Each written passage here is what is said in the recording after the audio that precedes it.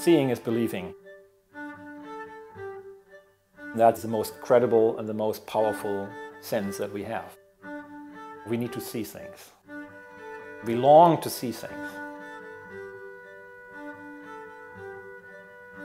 In my mind, like for 10 years, there's no question there is a black hole, and there's no question it's possible. I still want to see that stupid image. Yeah, I want to see it.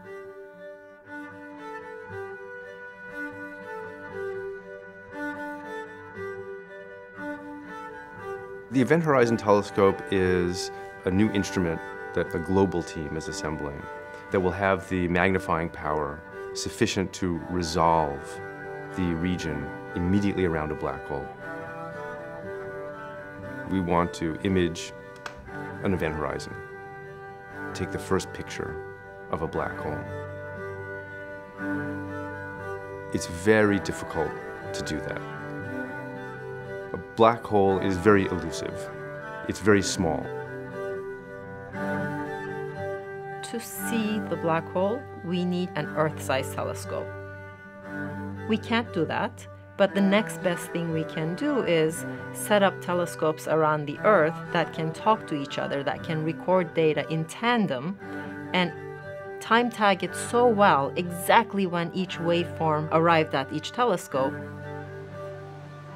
we can combine these data and make the telescopes act like they were actually one telescope.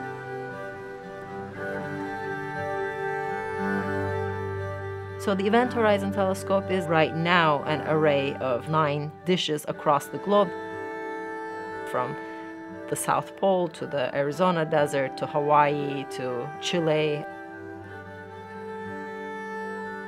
creating effectively an Earth-sized telescope. In 2008, we joined this project. It's like maybe 25 people. It's relatively small. And now we are more than 200 people spread all over the world. Very international. So it's getting bigger and bigger and getting more complex. But what is really exciting is we have more stations. That is really, really fundamental to getting good images.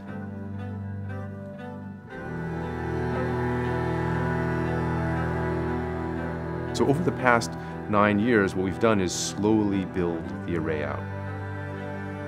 We've gone to new sites, and we've had to convince those new sites that the science is worthy, and we've had to install very specialized and expensive equipment at all of these sites. We are pushing state of the art always. The photons we detect and the, and the signals we pick is so faint that it wouldn't work with anything that's available normally. So we're inventing new technologies that's on the cutting edge. We're building superconducting receivers. We're building digital signal processors with more and more processing power.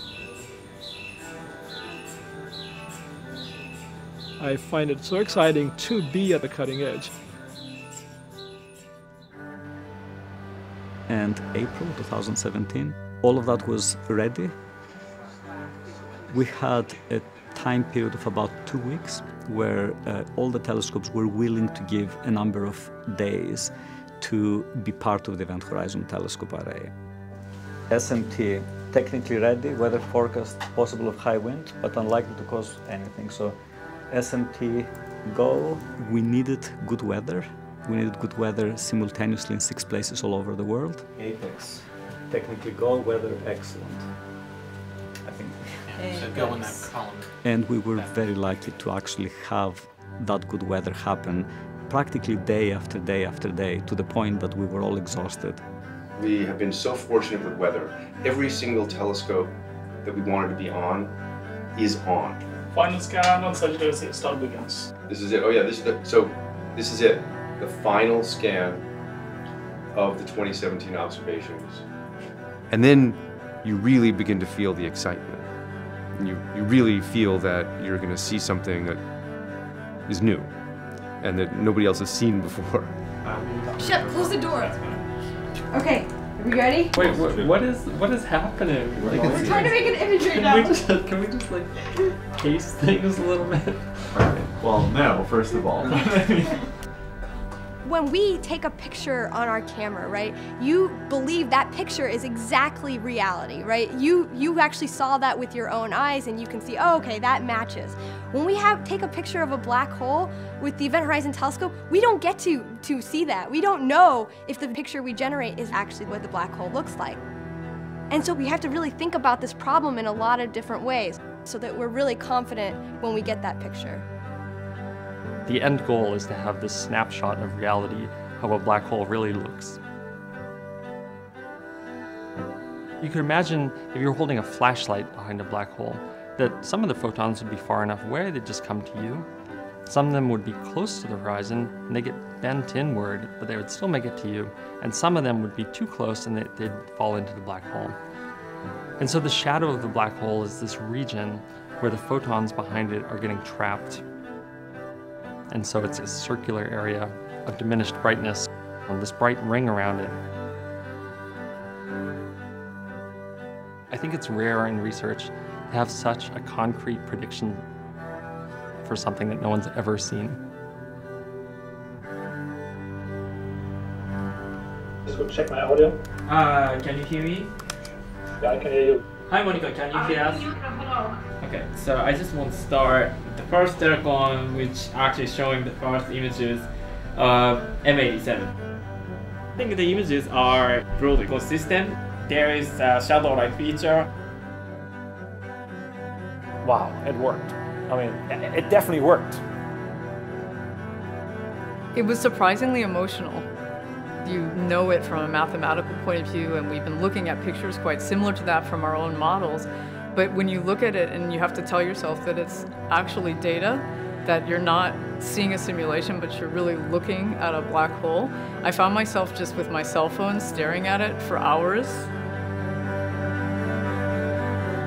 So we see this ring. It's phenomenal. It's the result of my lifetime. We've seen the shadow of a black hole. But this story is just beginning.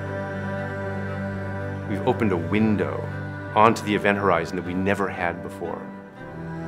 We don't know how this book is going to end. All we know is that the first chapter has us hooked. And that's enough.